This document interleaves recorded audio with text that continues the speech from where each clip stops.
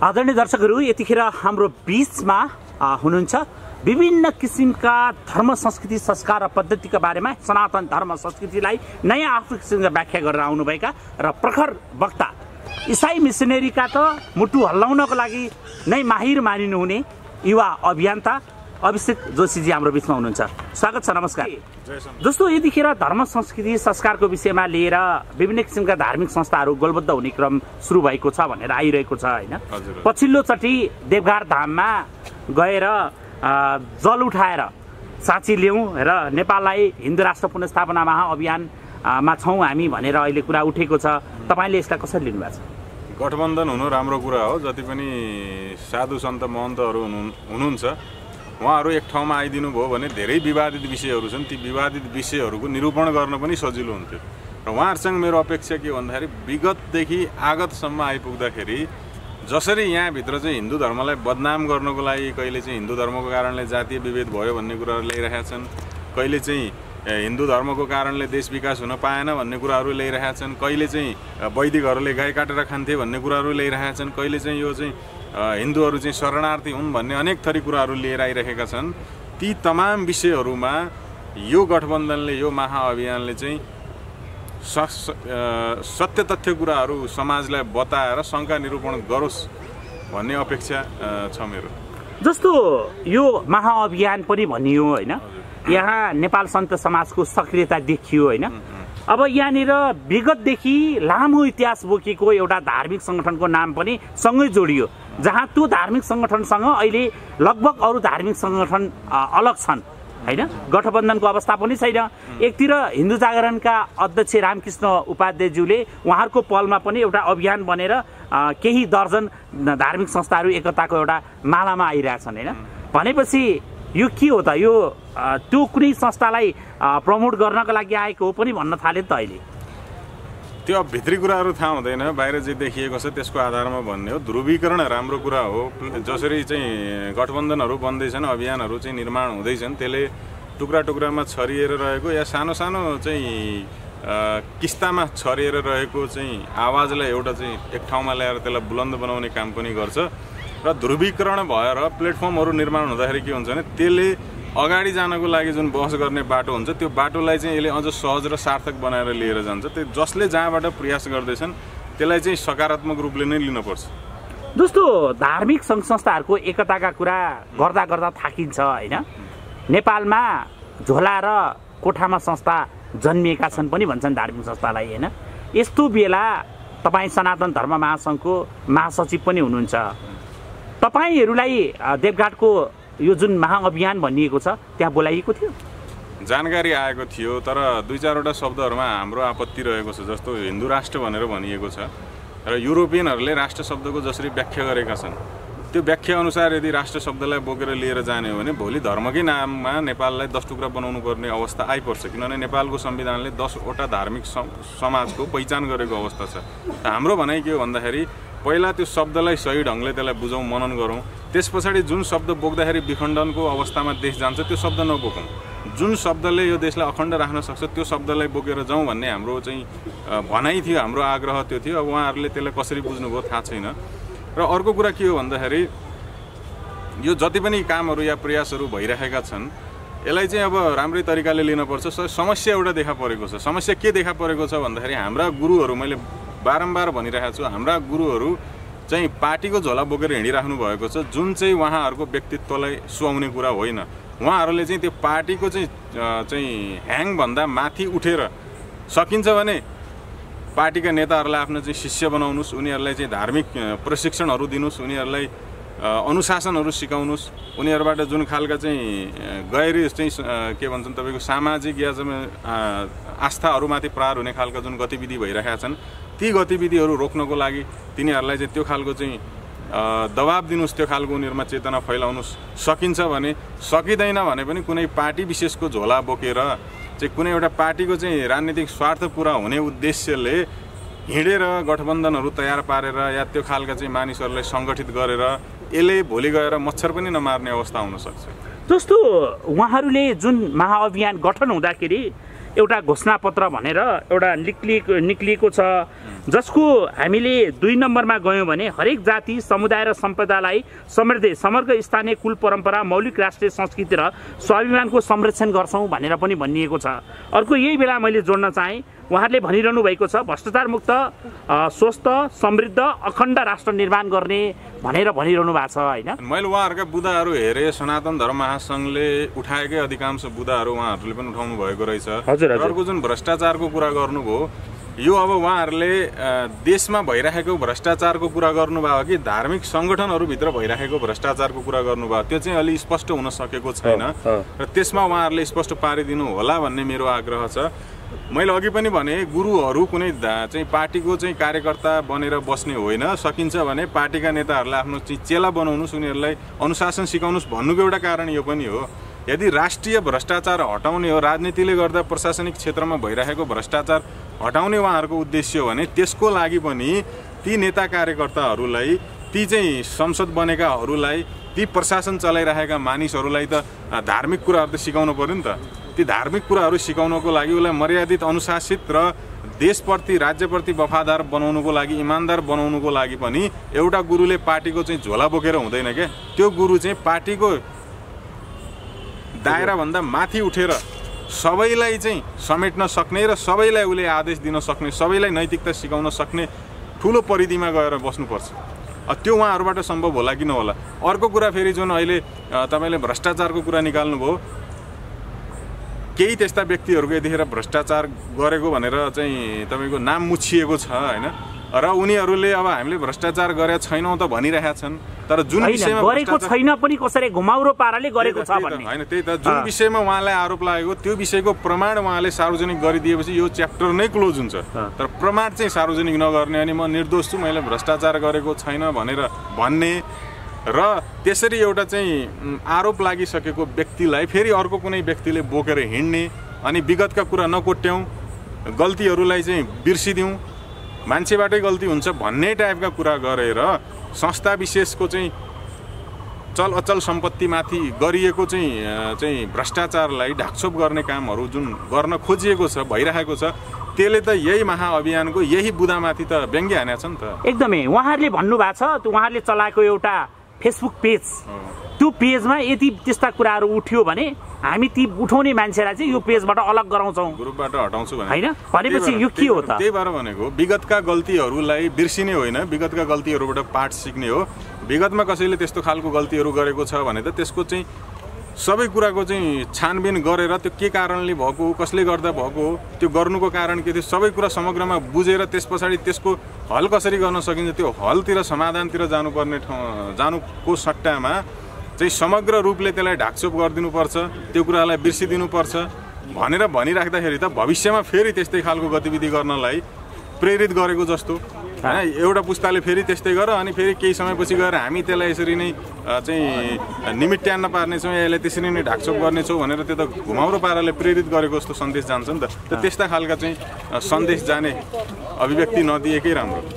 जस्तो यो बेला यहाँ के भनियो भने हाम्रो मूल मान्यता स्वीकार गर्नेहरूसँग मात्र हामी सहकार्य गर्नेछौँ भनेर अनि महाअभियान भनेर भन्नुको मतलब हामीले ल्याएको कुरो मात्र अब छलफल हुन्छ। अर्को विषय आउँदैन भन्न खोजिएको धार्मिक संस्थामा पनि। ठिकै छ त्यो जसरी व्याख्या गरे पनि हुन्छ। अब जसलाई जे सही लाग्छ त्यो गर्ने हो? हजुर, हजुर। उहाँहरूले जे ठान्नु भएको छ त्यो त्यही कुरालाई तीव्र गतिले अगाडि बढाएर लिएर जानुहोस् भन्ने हो। र त्यो उहाँहरूले गठबन्धन बनाउनु भएको छ।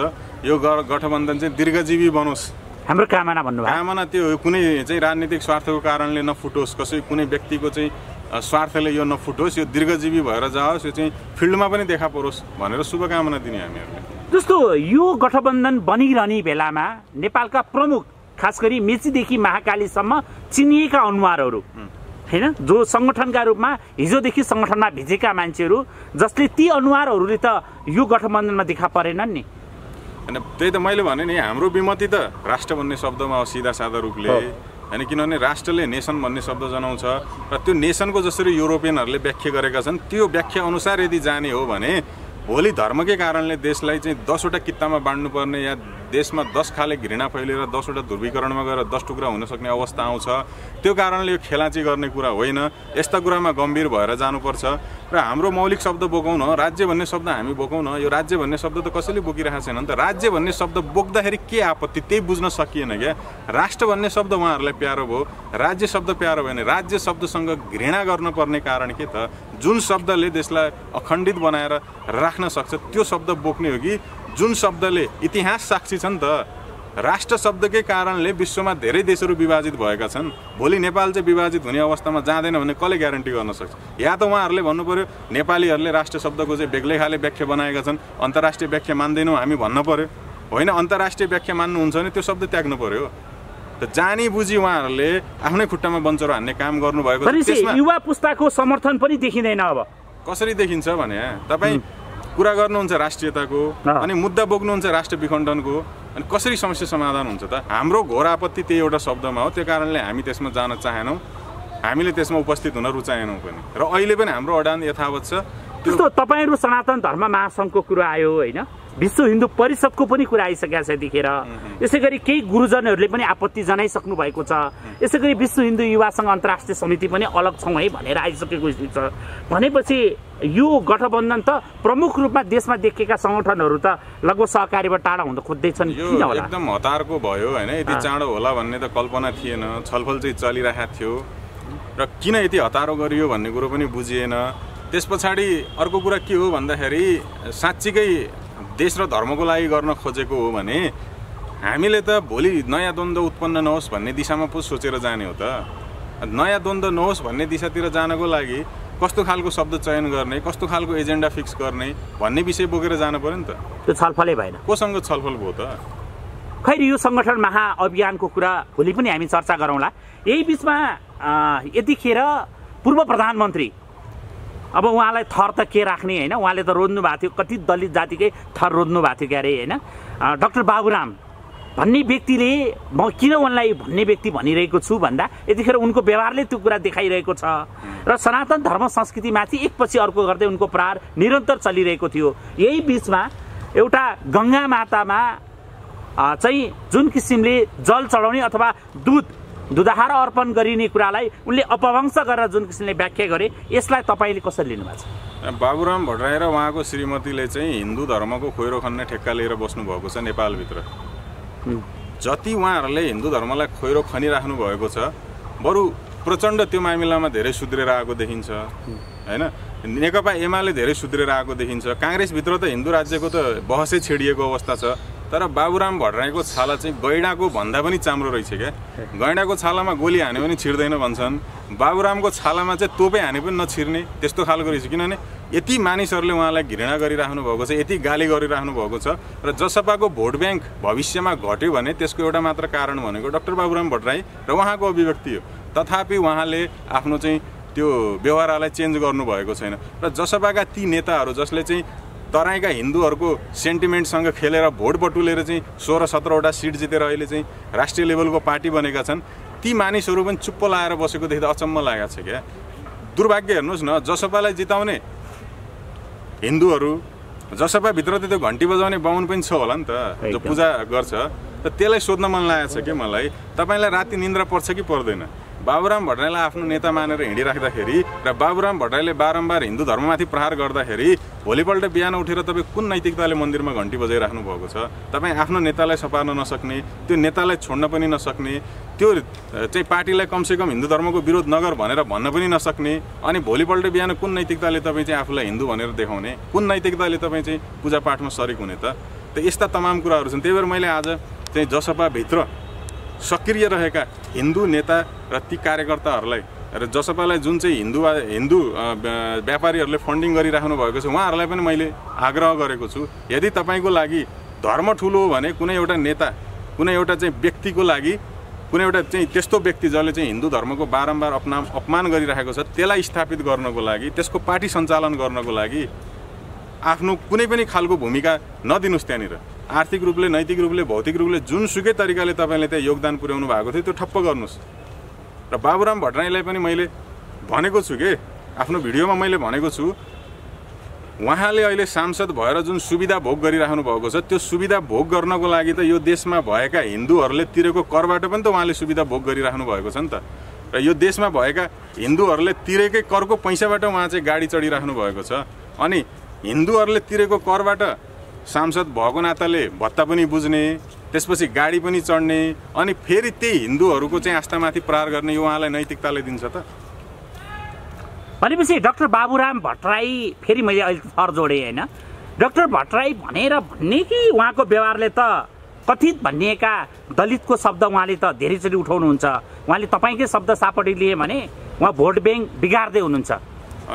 होइन उहाँको उहाँहरूको रणनीति मैले यसो विचार गरेको रणनीति के रहेछ त भन्दाखेरि भूगोलको नाममा तराईका मान्छेहरूलाई उचाल्ने र त्यसलाई भोट ब्याङ्क बनाउने त्यसपछि लैङ्गिक कुराहरू झिकेर महिलाहरूलाई उचाल्ने त्यसलाई भोट ब्याङ्क बनाउने अनि नस्लको कुरा निकालेर पहाडका चाहिँ आदिवासी जनजाति र बाहुन छेत्री भिडाउने र आदिवासी जनजातिलाई भोट ब्याङ्क बनाउने जातको मुद्दा उछाल्ने चाहिँ हिन्दूभित्रको दलित भनिएको समुदायलाई भोट ब्याङ्क बनाउन खोज्ने र धर्मको मुद्दा उछालेर हिन्दू इतरका धार्मिक समुदायहरूको चाहिँ भोट सङ्कलन गर्न खोज्ने तिनीहरूलाई भोट ब्याङ्क गर्न बनाउन खोज्ने रणनीति रहेछ। त्यो कारणले गर्दा उहाँहरूले त चाहिँ विश्व मस्ट महासङ्घ भनेरै गठन गराउनु भयो नि त। रणनीति के हो भन्दाखेरि जसरी पनि भोट ब्याङ्क तयार पार्ने भनेर त्यसै त्यो कारणले उहाँहरूले लिङ्गको रूप आधारमा चाहिँ भूगोलको आधारमा नस्लको आधारमा जातको आधारमा धर्मको आधारमा चाहिँ के भन्छन् तपाईँको भाषाको आधारमा त्यो खालको विभाजन गरेर त्यो खालको भोट ब्याङ्क तयार पार्ने रणनीति उहाँहरूको रहेछ। त्यसै अन्तर्गत बाबुराम भट्टराईका बारम्बार अभिव्यक्तिहरू आइरहेका छन्। तर उहाँले एउटा कुरा के बुझ्नु भएको छ भने यो टेक्नोलोजीको जमाना हो प्रविधिको जमाना हो। दुई दिन चार दिन तपाईँको त्यो रणनीतिले काम गर्ला तर पाँचौँ दिनमा त्यही रणनीति तपाईँहरूलाई भारी पर्छ। आज त्यही भइरहेको छ क्या? उहाँहरूले भूगोलको नाममा तराईका मान्छे त उचाल्नु भयो। तर तिमीहरूले तराईमै पुतला दहन सुरु भयो नि अहिले। भन्न कि मैले। त प्रविधिको जमाना हो नि त। आजको। दुनियाँमा त सबै कुरा मान्छेले प्रविधिबाट थाहा पाइरहेछ विश्लेषण गरिरहेछ। हिजो जुन समुदायलाई उहाँले चाहिँ भूगोलको नाममा तिमीहरूमाथि पहाडियाले दमन गरेका छन् उचाल्नु उचालेको थियो। आज त्यही समुदाय त हिन्दू हो भन्ने कुरो बाबुरामले बिर्स्यो क्या। अनि हिन्दू धर्ममाथि प्रहार गर्दाखेरि त्यही ठाउँमा सबसे पहिला बाबुराम भट्टराईको पुत्ला जल्यास त्यो कारणले यदि अहिले पनि बाबुराम भट्टराई सच्चिँदैन भने र बाबुराम भट्टराईलाई बोकेर हिँड्ने तराईका नेताहरू यदि सच्चिँदैनन् भने जसपाको भोट ब्याङ्क गिराउनुमा हुनसक्छ शून्यमै झर्न सक्ने अवस्था होला। त्यसको प्रमुख दोष दोषी भनेको बाबुराम भट्टराई र बाबुराम भट्टराईको अभिव्यक्तिहरू नै बन्छ। जति महिना तन्काएर लगे पनि अथवा सर्वोच्च अदालतबाट गोरु ब्याए पनि। जसपाका नेताहरूलाई मेरो त सुझाव के हो भने त्यो एउटा मान्छेलाई सिनो घिसारे जस्तो काँधमा राखेर घिसारेर पार्टी डुबाउनु भन्दा त्यसलाई कारवाही गर्नुहोस् न तपाईँ आफ्नो पार्टी जोगाउनुहोस्। यसै पनि जसपाको जति पनि सिटहरू छ सबै त तपाईँको त तराईबाट जितेर आएको छ उनीहरूले। एउटा बाबुराम भट्टराई र एउटा गोर्खाको सिटको लागि किन तपाईँ आफ्ना चाहिँ चौध पन्ध्र सिट गुमाउन तयार भइराख्नु भएको छ? त उहाँहरूको त आफ्नो ठाउँमा हेर्नु पऱ्यो नि त। अहिले जसपा बदनाम भएकै बाबुराम भट्टराईको कारणले गर्दाखेरि हो जसपा बदनाम भएकै बाबुराम प्रवृत्तिका चाहिँ त्यहाँभित्रका नेताहरूले हिन्दू धर्ममाथि बारम्बार गरेको प्रहारको कारणले गर्दा हो। बाबुराम भट्टराईले बलि प्रथाको विरोध गरे हेर्नुहोस्। बलि प्रथा पनि कसको भन्दा हिन्दूको बलि प्रथाको विरोध गर्ने मुसलमानको बलि बलि प्रथाको शुभकामना दिने। भर्खर ईदको। भर्खर ईदको दियो। भनेपछि हिन्दूले काटेको पशु चाहिँ पशु हो। मुस्लिमले काटेको पशु चाहिँ पशु होइन। बाबुरामजीले चिन्नु भएन। चिन्नु भएन क्या उहाँले। हिन्दूले काटेको पशु मात्र देख्नुभयो त्यसलाई मात्र चिन्नुभयो मुस्लिमले काटेको पशुलाई उहाँले देख्नु पनि भएन चिन्नु पनि भएन। त यो यो खालको उहाँको जुन विभाजनकारी नीति यो खालको चाहिँ समाजमा घृणा थोपरेर आफ्नो भोट बनाउने जुन नीति छ नि त्यो नीति उहाँहरूलाई नै घातक बन्दैछ। त्यो नीति उल्टो फर्केर उहाँहरूमाथि नै प्रहार भइरहेको छ भन्ने कुरो बाबुराम भट्टराईले थाहा अहिलेसम्म महसुस गर्न सकेका छैन। भनेपछि डाक्टर भट्टराईको त यो अभिव्यक्ति भयो होइन। सनातन धर्म संस्कृति चर्चा गऱ्यौँ। हामी अन्तिममा पनि छौँ होइन? यतिखेर तपाईँ अन्त्यमा मैले सोध्न बिर्सेको र यहाँले भन्न बाँकी रहेको केही छैन भनिदिनुहोस् न। अघि मैले भने नि गुरुहरू पार्टीको चाहिँ दायराभन्दा माथि उठ्नुपर्छ मैले अघि पनि भनेको थिएँ। त्यो प्रसङ्ग यहाँनिर पनि सान्दर्भिक हुन्छ। कि जसपाभित्र जति पनि घन्टी बजाउने बाहुनहरू छन् या जति पनि गुरु पुरोहित पण्डितहरू होलान् राजनीतिक स्वार्थले त्यहाँभित्र टाँसिएर बसेका तिनीहरूले मौन बसिदिँदाखेरि पनि यो मान्छेको आत्मबल दिनरात बढिरहेछ। यदि तिनीहरू त्यो पार्टीको दायराभन्दा माथि बसिदिने हो भने उहाँहरूले चाहिँ थर्काउने हो भने उहाँले आफ्नो समाजलाई ल खबरदार है यो चाहिँ फटा रहेछ यसले योबाट चाहिँ सचेत हुनुपर्छ मात्र भनिदिने हो भने पनि यस्ता मान्छेले यो खालको अभिव्यक्ति दिने आँट गर्दैनन् एउटा कुरो। दोस्रो कुरो हाम्रा यत्रा गुरुवर्गहरू छन् यत्रा चाहिँ अभियानहरू निर्माण गरिरहेका छन् यत्रा चाहिँ तपाईँको चाहिँ साधु सन्त हामीसँग छन् भनेर चाहिँ जो भिड देखाइराख्नु भएको छ यतिखेर बोल्ने दायित्व उहाँहरूको हो कि होइन त? हिन्दू धर्ममा गाई काटेर खाइन्थ्यो उहाँ त लाइभमा आएर बोल्नुहुन्छ नि त फिल्डमा त कहाँ हुनुहुन्छ? लाइभमै बोलिदिए पनि हुन्थ्यो नि लाइभमै। बोले पनि देखिएन यहाँ त। एकाध अहिले 48 घन्टा- संस्थाहरूको अँ, श्रीश्रीहरूले पनि बोलेको देखेँ मैले अघि होइन? केहीले बोलेका छन्। आज बोल्नुभयो यसो देखेँ। त्यो सोसल साइटमा दुई चार सयले देख्थे। यो त फिल्ममा आउनु पर्दैन। अचम्मै भएछ भने योभन्दा। अगाडि त बोले पनि देखिरहेको थियो नि हतार छ नि त उहाँहरूलाई। सुन्नुहोस्। पशुपतिनाथ भनेको जनावरसँग सम्भोग गर्ने देवता हो भनेर एकजना पास्टरले आरोप लगायो। कसैले बोलेको मैले सुनिनँ। त्यसपछि वैदिकहरू गाई काटेर खान्थे भनेर त्यही क्रिस्चियनहरूको समुदायबाट तिन तिनकै पास्टरले बोल्यो। कस कुनै हाम्रा सन्त गुरुहरूले यो विषयको खण्डन गर्नुभएको छैन। अस्ति रूपा सुनारको केसमा हिन्दू धर्मको कारणले जाति विभेद छ जबसम्म यो हिन्दू धर्मलाई उखाडेर फालिँदैन ब्राह्मणवादलाई उखालेर फाडिँदैन फालिँदैन जाति विभेद हट्दैन भन्ने अभिव्यक्ति आयो। त्यो विषयमा पनि शास्त्र समातेर शास्त्र सम्मत कुरा के हो भन्ने विषयमा कुनै धार्मिक गुरुले बोलेको सुनिएन। त यस्ता तमाम विषयहरू छन् तमाम विषयहरू छन् जुन विषयहरू हिन्दू धर्मलाई बदनाम गर्नको लागि उछालिन्छन् ती विषयहरूको निरूपण गर्ने सत्य कुरा यो है। भ्रम फैलाइदिएछ समाजमा भनेर बोल्ने दायित्व त गुरुहरूको हो नि त उहाँहरू पनि त्योमा बोलेको त देखिएन। मौनादी समर्थन बसिदिनु भएको छ। समर्थन हो कि भन्ने डर हुन्छ? मौन बसिदिँदाखेरि त समर्थन हो कि भन्ने डर हुन्छ नि त। समय दिनु हो। यसको लागि धन्यवाद यहाँहरूलाई पनि धेरै धेरै धन्यवाद जय शम्भु।